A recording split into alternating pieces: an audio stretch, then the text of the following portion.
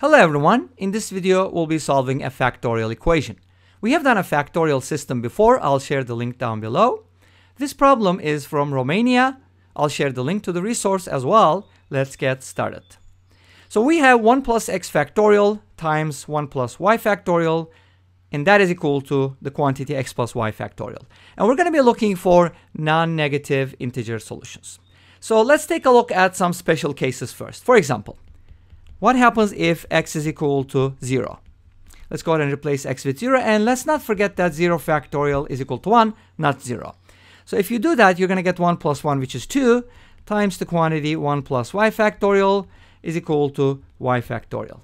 Now when you look at this problem, you, you probably notice, hopefully, that 1 plus y factorial is already larger than y factorial. It's 1 more than that. When you multiply by 2, it's going to get even bigger because we're looking for non-negative solutions which means that we don't get a solution from here. So if x, x is equal to 0, we do not get any solutions. So we're going to be looking at another case then. How about if x is equal to 1? Okay. If x is equal to 1, then I'll replace x with 1. 1 factorial is equal to 1, so it's going to give me 2 again times 1 plus y factorial. But on the right-hand side this time, I should be getting something like the quantity 1 plus y factorial. Now, when you look at this equation carefully, you can test some values and you're going to notice that hopefully y equals 2 is a solution. Now, how did I know that? Well, just by testing some values. Are there any other solutions? That's what we need to look at. All right? So, but definitely y equals 2 is a solution, which means that 1 comma 2 is going to be one of the solutions as an ordered pair.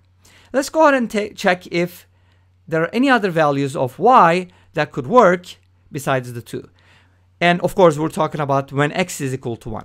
So what if uh, y is greater than 2? Now, something interesting happens if y is greater than 2 because 1 plus y is going to be greater than 3 in this case.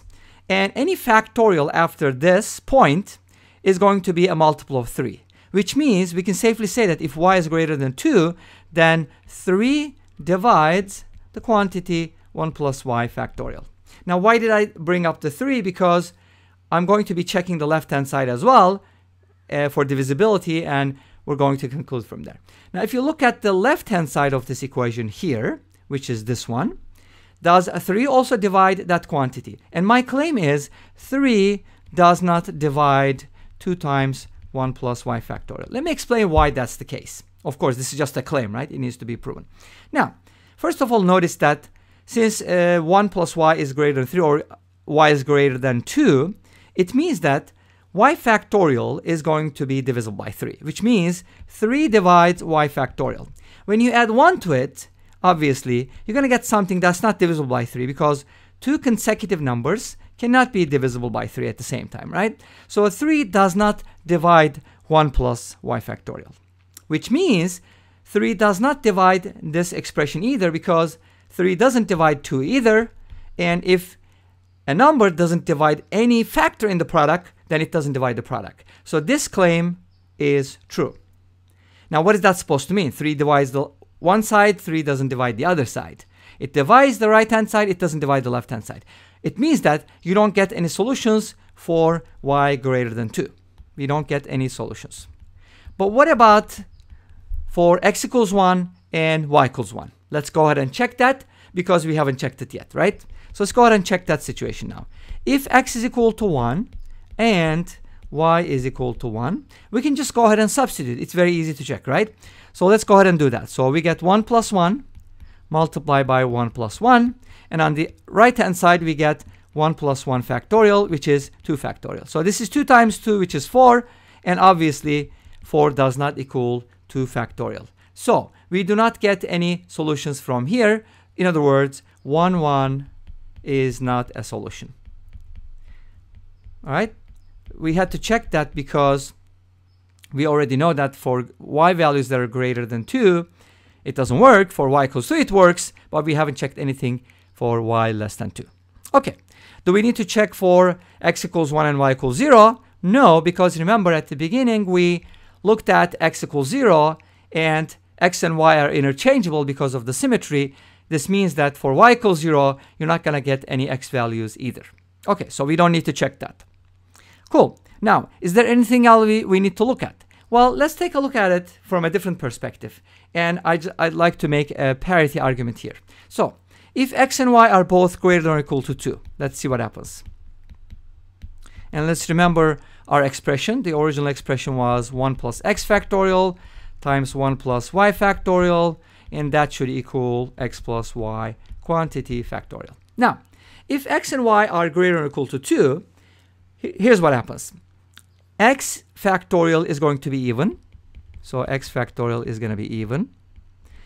And that means y factorial is also going to be even because they're both greater than or equal to 2. But this also means that 1 plus x factorial and 1 plus y factorial are both odd. So when you multiply two odd numbers, you're going to be getting an odd product. So the left-hand side of this equation is going to be odd if x and y are greater or equal to 2. What happens to the right-hand side? Well, since x and y are added and then you factorial them, that's going to be an even number because we know that if x and y are greater or equal to 2, then x plus y is going to be greater or equal to 4. And obviously, x plus y factorial is going to be even, right? Anything greater than 4, or I mean even 2, is going to give us even results. Which means that we do not get any solutions from here. So that kind of gives us a boundary, what we should look at, but I just wanted to save it for the end. And so we got one solution only so far, right? That works, and that would be 1 comma 2. Now, what is that supposed to mean? Let's go ahead and write it up and just conclude the video. Now, we said that there are no solutions for x or y, x and y greater or equal to 2.